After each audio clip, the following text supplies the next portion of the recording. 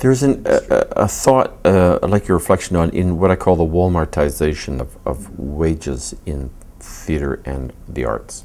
In that uh, I've watched the wage scales go down, I've watched televisions go down, uh, what you are paid. So even someone like me, I'm forced to, you know, I can make a little money here, but I have to do a narration, I have to be looking something else. So I spend so much try, time trying to get little pieces of money that the creative time starts to disappear. Yeah. Uh, and those arts that can get money flowing to them, so it's all creative time, and it's going it's going to music and opera as well, are roaring ahead in English Canada, and the theaters are maintaining themselves or falling back.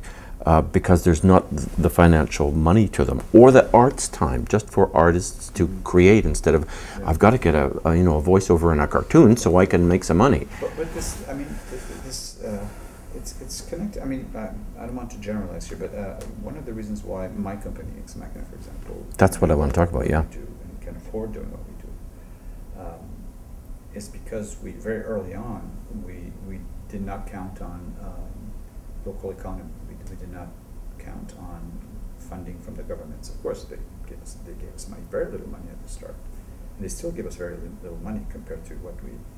But we very early on were interested in traveling the world and being co-produced by important festivals around the world. And there is a network. There's money out there outside of Canada, outside of North America, loads of money where they just give you the check and they say, "Come back in five years. We want to be the first to present what you're going to do."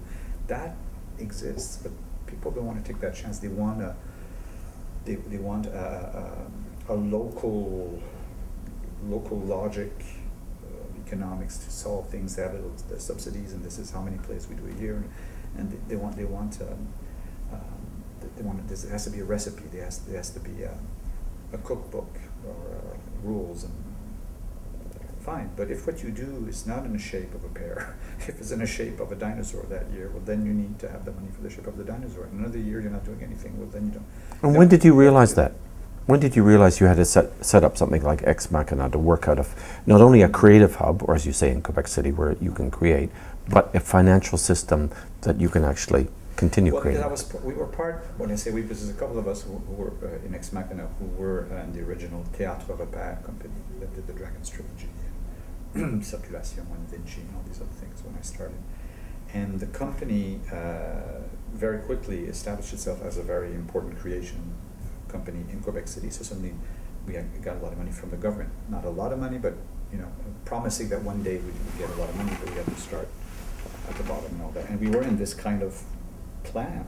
We had there was a plan that uh, the, the company was going to go move from this to this to this to this to this, and it just wasn't interesting. It just didn't have the shape of the stuff we were interested. in. We were interested in doing seven-hour shows. We were in, uh, you know, we, we were interested in uh, something that was much freer than the usual. Well, now let's do a play, and it's this amount of weeks of rehearsals, and this is the amount of this, and this is how it's what it's worth, and this is this ticket sale, and then there's a PR. Uh, I mean, it's, it's something that I just didn't interest me anymore. So Yeah. we kind of we left that structure. A couple of us left the, the Repère structure and, and decided to go and create our own thing that would not be con- whether we get money from the government or not didn't matter. Let's do our thing. We've been traveling. We've been meeting with agents all over the place. There's money out there uh, for culture for what we do. There's a demand for what we do. Let's go for it. And, and right now we're the only company um, in, in Canada. Uh, I mean, we, we receive twelve percent of what it costs to produce. So the money that we get, twelve percent is subsidized. That's nothing. It's ninety-two percent in general. We receive twelve percent of money from the governments. All the rest comes from Tokyo, Berlin, Mexico, whatever. You know, whatever is the. Uh, and who, who worked this out financially? How do you find a financial? Did you do that, or do you have financial? No, I, I, did, I, did, I did not do that, but uh, Michel Bernatchez and, and people working with Michel Bernatchez, who, who's, who's my producer, who, who, who's been accompanying what, what, I've been doing from the very start. Uh, at one point, you know, by we started touring and then discovered that in London there was this big interest in having me direct something with Quebecois artists and Scottish actors. Okay, well, where does the money come from? Oh, it comes from the, uh, the European, uh, the, the, uh, Glasgow European City so, okay, so suddenly Glasgow that year has gazillions of money and they want, they don't just give it to local artists. They, they're interested in having their artists work with people from abroad. And we discovered that, that that's how the world works out there. And here we are in Canada Our mm, little rules and thinking that and, and actually being, being asked to be efficient in a certain system and all of that.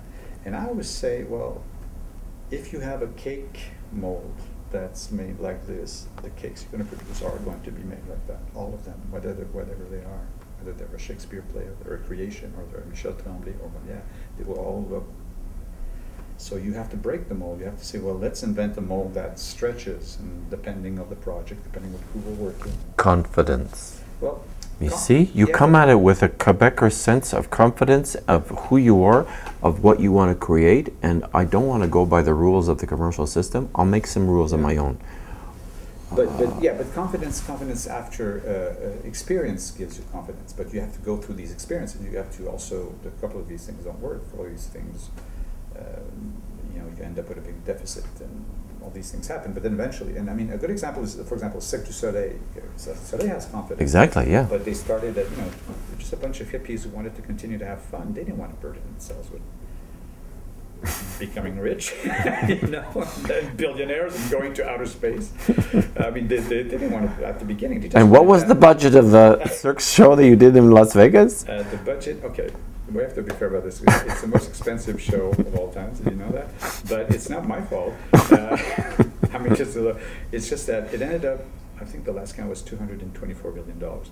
But, but the the the uh, Cirque du Soleil show is thirty million dollars uh, for not not the touring shows, but the shows in Vegas or in Macau or in Dubai, the big shows they do what they call hard circus, the, the, the shows that don't travel and that are part of a venue uh, are about 30 million, 30, 31 million. So uh, that's the budget we have, 30, 31 million, something like that. Of course, the presenter has to build the theater for your show, and he has his own thing going on. And they were supposed that was supposed to cost 60 million dollars. It became 70, became 100, became 150, and at the end it was 200 and something. million. So uh, that's not my fault. That's the part Cirque du Soleil never, never. But the confidence of Guy Laliberté that goes to Vegas and says, you want to show by Cirque du Soleil, you want to make money using our show to draw people to your casino, fine. This is what the show costs. You are never allowed to walk into the rehearsal room and say what you think. You have no artistic input. Sign here. And people say, oh, no, no, that's not how it works in America. Well, then goodbye. And he's always managed. I never had suits at any rehearsal. I never had anybody from MGM Grand, and I'm saying this. I don't. I don't want to uh, dismiss them. They're actually very intelligent, very cultivated people. The people at MGM actually, uh, they're cool. But the things that we never had anybody come in and say, well, you know, our audience. No, you're not allowed to even enter the room. What was that man's name again? I want every student who listens to this interview to hear this man's name. Guy Laliberté. Yeah. This Yeah, is important Okay. Well, the things that Guy- because the confidence that he expresses uh, financially yeah. for the creative process Mhm. is really important, Yeah, right? Well, because it probably, it, but that's what I mean. But the confidence comes from the experience of touring with, with what they call a soft circus, with touring, knowing that they're doing something right, and that what they're doing right is that they don't have any stars. The star is Cirque du Soleil, okay, which is completely when in the film world that has tainted all all other entertainment business, it is it is star ridden, ridden, ridden. So Driven. driven, Driven, so- yeah. So, uh, your, oh, you, your, your film sounds fantastic. Who's the main part? That's the only thing that's important. So that that's that's the rule of Broadway. That's the rule of anything in entertainment now. Cirque du Soleil is completely counter that. And From the confidence of a Quebec model. Well, they said, you know what, we're doing something, and the star is the ambiance of that top. It's what goes on. It's the sensuality. It's the excitement. It's the discipline. It's the performance. It's the, the youth. It's the it's the the the, uh, the, the, peaceful quality of what we're doing. And that's the star, and things that have never been seen before. So when Guy Laliberté sits in front of you, he, he hires you as a director and a designer. He doesn't say, uh, we want you to do this and that, and this is proven to be a nice recipe. No, he knows that you have to come up with something that has never been seen before. So you, you have complete freedom. So they give you all this money and they say, try to do something you've never done before. So you start doing stuff, and then they come to you and say, ah, "We've seen this before. When you we don't want it. We don't want something that's been rematched." When all of the system, the entertainment industry is based on, "Give me an assurance this worked before on something else. Give give me an example." So you say, "Well, it's a cross between Carrie meets uh, All in the Family." Oh, that's true. Okay, I get what you mean. So I get the confidence that that's going to be spooky like Carrie, and it's going to be funny and endearing like All in the Family, right? But Cirque du Soleil completely sets different rules. They, they, and so, so you end up actually with a huge challenge of always trying to do something that's never been seen, or that's new, or that's uh, refreshing.